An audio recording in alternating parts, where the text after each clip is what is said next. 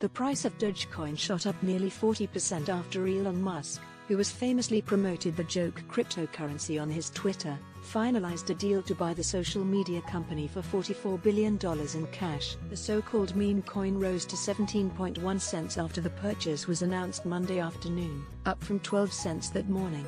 Musk had previously floated the idea that users could pay for Twitter's premium service with the coin. It is worth about 15 cents as of Tuesday morning. The cryptocurrency was created as a joke in 2013. Its mascot is a Shiba Inu dog. It was valued at less than 1 cent at the start of 2021, until the SpaceX founder and others started promoting it on social media, hyping it up and driving up the price. The billionaire's mere mention of the coin caused it to fluctuate. It plunged when he joked about it on air on Saturday Night Live last May.